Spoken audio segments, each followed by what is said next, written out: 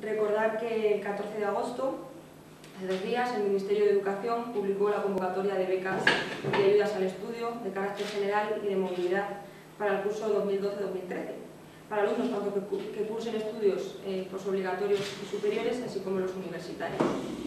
El plazo de presentación, quiero recordar, ya que estoy aquí, pues se ha abierto y para las enseñanzas universitarias será desde el 15 de agosto al 15 de octubre y para las eh, enseñanzas posobligatorias y superiores será desde el 15 de agosto al 1 de octubre. También quiero recordar que estas ayudas eh, no bajan el umbral económico que tenían, como antes, y lo único que se ha bajado, lo único que se ha modificado es el umbral académico y que ahora sí que hay que conseguir una, una nota para, pues para, que te, para que te ofrezcan y para que te puedan dar estas becas y que yo creo que es lo correcto, creo que es lo que hay que hacer, por eso apoyamos la medida que ha tomado el gobierno, creemos en el esfuerzo.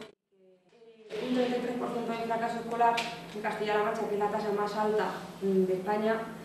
nos dice que algo hemos hecho mal. Y, a nivel, eh, a nivel nacional no estar entre uno de los mejores países a nivel educativo quiere decir que algo hemos hecho mal. Por lo tanto, y vuelvo a repetir, ya con esto termino, creo que es muy importante que la sociedad sepa que tenemos que estar unidos en esto, que los partidos políticos deberíamos ponernos a trabajar en la misma línea,